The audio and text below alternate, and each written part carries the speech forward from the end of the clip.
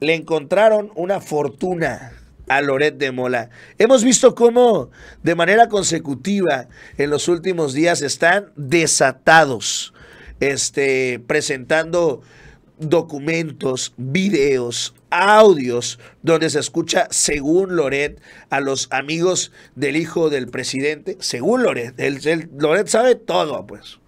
Bueno, el presidente lo dijo el día de ayer Ya se sabe por qué hace esto Loret. Se tiene claro por qué ataca así Loret. Porque a Loret lo que realmente le molestó, incluso el día de ayer estuvo Loret, o mandó reporteros, mejor dicho, porque él no va. Él se dice el reportero de guerra, ¿no? Porque antes iba, ya, y que los mismos reporteros de guerra, los de verdad, lo desmienten y dicen, no, ese era un niño bonito que venían, paraban, le tomaban la foto y que incluso hay una foto donde tiene Loret de un, al lado de un tanque, esa, que es, dice, eso fue un falso, dice, eso fue un montaje. Le pagaron a los del tanque para que hicieran como que estaban ahí para decir Loret, estoy aquí, desde el lugar de los hechos, Joaquín. Pero todo era un show, como todo como todo lo que ha pasado Televisa en toda la historia. Bueno, el presidente dijo, la real molestia no es que vaya a ganar Claudia, no es que vayan hundidos las encuestas. La verdadera molestia fue que les cepillaron el contrato que tenían para el tema de las medicinas. Porque incluso, dice el presidente, las medicinas que se usaban estaban guachicoleadas. Las medicinas que vendían Lored y sus amigos eran de la más baja calidad. Bueno, el doctor Simi era 20 veces mejor que ellas. Vamos a ver lo que dijo el presidente López Obrador. Pues entonces cuando empezamos a comprar las medicinas a laboratorios para comprar medicinas de calidad, no adulteradas y a buen precio, para que con el mismo presupuesto alcanzara a entregar todos los medicamentos de manera gratuita a los mexicanos, empezó la rebelión. Ahora se arreció un poco también porque Imagínense, encontramos, creo que un contrato con empresas que tienen que ver con Loret. O sea, no es que Loret se llevara todo el dinero, sino que financiaban a Loret. Un contrato en el Estado de México de 1.600 millones de pesos de medicamentos. Y una comisión. O contrato de publicidad para Loret. Entonces, pues estamos enfrentando eso, porque todos estaban metidos, la mayoría.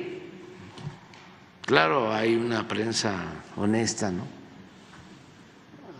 No se puede generalizar y los más honestos en los medios son los periodistas y los camarógrafos, ustedes, ¿eh? Este,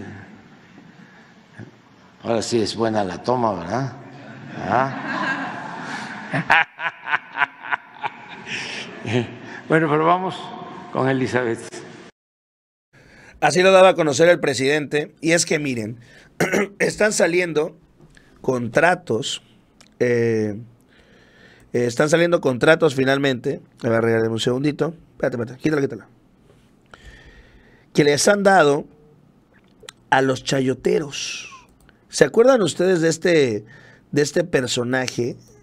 el de la, el de etcétera. Ay, ¿cómo se llama? Ahorita les digo. El que es eh, la revista etcétera, que se la vive sacando videos, que yo digo que es el que es menos peorcito, Luis Mendoza el menos peorcito para hacer estos videos, pero aún así, y se jactan, ¿no? Diciendo, ay, los youtubers, chayoteros, se la vive pegándole a todo el mundo. A ver, ahorita lo pongo. Luis, es el de etcétera. Todo, ya, ya lo conocemos. Ya lo han de haber topado por ahí. Ya he puesto por aquí un video. Resulta que a este señor le dan contratos de parte de las administraciones panistas. Chéquenlo. En Querétaro le están dando un total de 752 mil pesos y este otro de 150 a este señor, el de etcétera. A ver, creo que acá está el otro documento. Ya está. La empresa se llama. Se llama estrictamente digital. Es una adjudicación directa. Es del año pasado, de marzo a abril, por un monto de, de poco más de medio millón de pesos, ¿no? Ahí está, 752 mil pesos, lo que le están dando a este Mauricio Curi, a Riva Palacios y bueno, también allá los de etcétera. Y ahí está. Los contratos, sacándole los contratos. Y no solo eso, hay más. Vamos a ver este. Este es precisamente al señor, eh, al hermano de Luis Mendoza, el cual es un diputado, aquí está, diputado por el Distrito 15 de Acción Nacional. Diga, no, no quiero ser clasista, pero si ustedes ven esta foto, ¿A qué partido crees que pertenece? Ahí está el contrato también que se les da a estos personajes. Este es un documento porque es el hermano de Luis Mendoza, quien está prófugo de justicia, quien firmó los documentos para el tema de City Towers. Es decir, están metidos en todos los negocios chuecos habidos y por haber.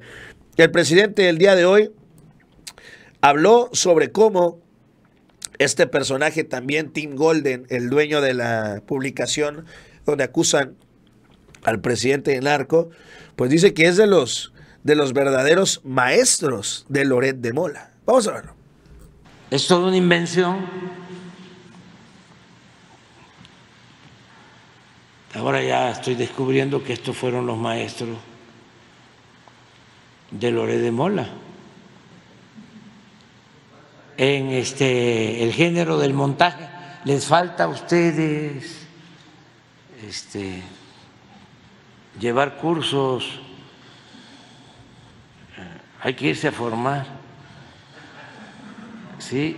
Eh, en el conocimiento de cómo eh, hacer montajes para el pseudo periodismo porque no tiene que ver con la ética ni con el noble oficio del periodismo, pero sí deja mucho dinero, o cuando menos se reciben premios.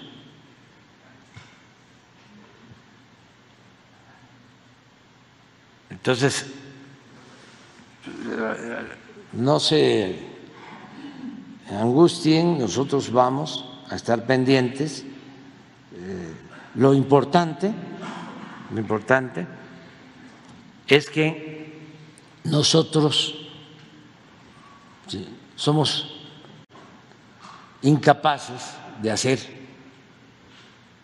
eh, cualquier acto de intimidación, llevar a cabo cualquier acto de censura, porque tenemos convicciones, porque tenemos principios, porque tenemos ideales. Entonces, jamás haríamos eso. Quienes lo hicieron, este, pues vamos a estar nosotros pendientes. Pues ahí el presidente, ¿no? Burlándose también de todos estos, pues, periodistas, premios Pulitzer, ¿no? Premios Pulitzer al periodismo que terminan siendo nada más y nada menos que, pues, creadores de montajes, pero profesionales. ¿eh? Esos son los que cobran más caro. El, el Pulitzer y los premios de Loret son para que te puedas vender todavía más caro.